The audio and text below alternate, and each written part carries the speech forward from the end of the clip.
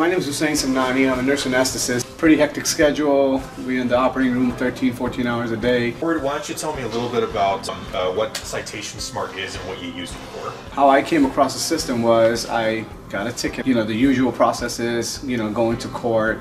Um, well, because of the busy schedule and there was a the smart system that you guys have uh, that we can use, which I was not familiar with, so I was kind of skeptical at first. So I went ahead and gave it a shot. It was very, very simple, uh, very straightforward, um, very intuitive, very user-friendly. And the cool part about that was that it kept on sending me text messages and email notifications. Um, so that was kind of nice to kind of get that reminder, you know, because having a busy schedule, I was kind of worried that, hey man, am I going to be able to make it? I was, you had the option of not going in to the clerk, you're not wasting any time gas, money. That was it. Mm-hmm. Um, what kind of got me was was Mansur's system because uh, AdComp Systems is something that I'm familiar with over time because I've worked with him before.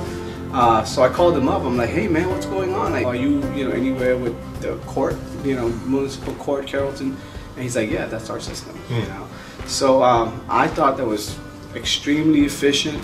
Number one, I found it to be where I saved a lot of time and resources. Um, and I just kind of thought it was a very clever way that finally somebody kind of came up with it where, you know, and, and, and the, the thing was it was like a continuity thing where it kind of started from the time that the police gave me the ticket to when I was put in the system and then that system pretty much generated the follow-up emails and the text messages. So it was, I mean, I, I just found that to be very neat. Yeah, most people seem to think that uh, court systems and tickets and things like that can be somewhat troublesome because they lose so much time and energy because Correct. Know you, there's the fear that uh, you end up paying more just because you forget about a ticket. About so, a ticket, yeah, or you or you have a warrant or something, you know, and uh, that was something that kind of saved me a lot of time. Like you know, I usually have to take a day off.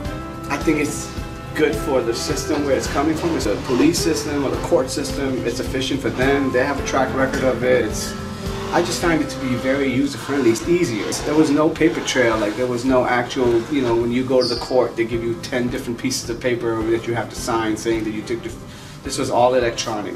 You know, far ahead of what everybody else is doing in other cities, I think. You know, because I've gotten tickets in other cities, like, and I have to kind of call them or mail them stuff or, you know, go see them in person, so.